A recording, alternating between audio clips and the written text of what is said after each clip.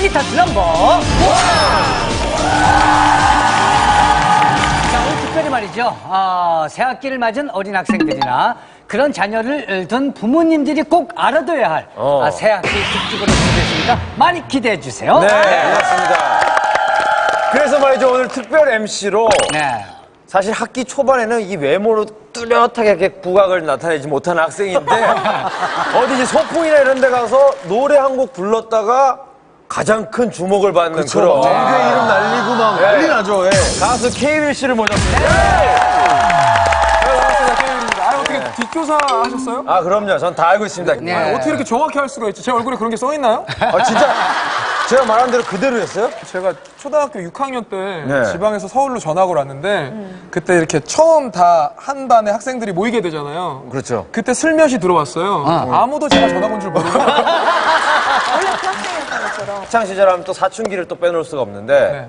우리 사춘기 때는 왜 다들 그 외모 콤플렉스 하나씩 있잖아요. 콤플렉스가. 아, 아무래도 그렇죠. 케이윌 씨는 어, 느 부분이 이렇게 좀 왜 꼭 있었을 것 같아요? 없었을 수도 있잖아요. 어렸을 때 컴플렉스는 물론 있었고요. 그때는 하나하나가 다 컴플렉스였던 것 같아요. 뭐, 뭐랄까. 눈? 그때는, 에? 왜 그렇게 생각하세요? 아, 저는 제 눈 되게 마음에 들어요. 그, 안 그러면 코? 왜 그렇게 생각하세요? 제코 마음에 들어요. 극복했네요. 예. 네. 다 극복했습니다. 극복을 했어요. 네, 알겠습니다. 그럼 가수로 데뷔하고 난 후에 네. 가장 굴욕적이었던. 없었어요. 아니 있을 것 같은데. 워낙에 잘 활동하고 있었어요. 아, 없다 그러면 어떻게 해요? 너무, 아니, 너무들 확신을 갖고 얘는 있었을 거다라고 생각하시니까. 그러면 케이윌 씨 팬들 중에도 어린 팬들이 많을 텐데 팬들하고 뭐 좀 뭐 세대 차이 같은 거 느껴본 적 있나요? 아유, 질문 좀 공격해야 돼! 공격 공격! 뭐 이렇게 공격적이지?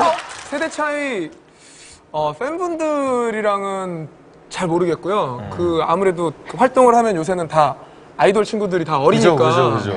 그 친구들 보면서는 그 시청자분들이 아- 아이돌 보시는 것처럼 저도 똑같이 보는 것 같아요. 뭐. 네, 빅뱅으로 알죠. 에헤이.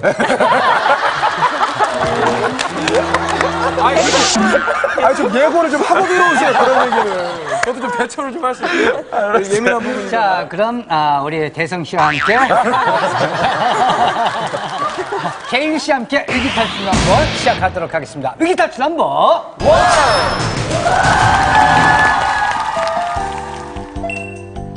삼대가 같이 살고 있는 단신이네 집. 올해 3학년이 된 단신이를 챙기고 회사에 나가야 하는 단신이 엄마는 아침부터 마음이 분주합니다. 일어나. 학교 가야지. 엄마의 말에 꿈쩍도 않는 단신이. 가라 가 내가 갈게. 내가 가. 네. 아이고. 우리 강아지 일어나면 주려고. 할머니가 맛있는 과자 숨겨놨지 하지만 정신을 못 차리는 단신이를 위해 할머니는 매일 아침 목부터 다리까지 특별 안마를 해주고 그제서야 단신이는 겨우 눈을 뜹니다. 아침을 먹기 위해 식탁에 앉은 단신이 어머니 저 늦어서 가야겠어요 먹고 가지. 할머니랑 밥 먹고 학교 잘 갔다 와?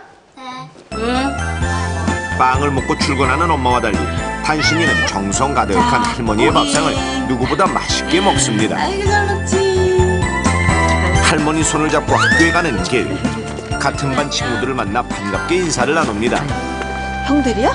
아니, 요번에 같은 반인 친구들. 아니, 아니 무슨 쟤들은 저렇게 중학생처럼 키가 커?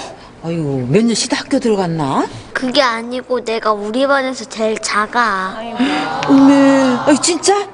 아니, 아니 그렇게 밥도 많이 먹는데 왜 이렇게 키가 작아? 수근이네, 수근이.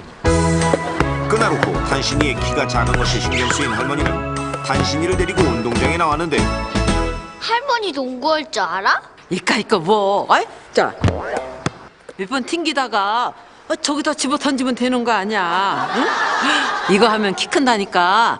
이제부터 매일 할머니랑 농구하자.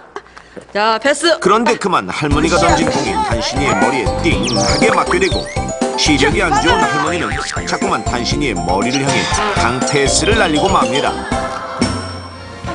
그날 밤 단신이는 할머니 옆에 꼭 붙어 과자를 먹으며 TV를 보는데 단신이가 제일 좋아하는 프로그램은 의외로 가요 무대. 고생 많이 늙은 거 어릴 때부터 봐온 프로라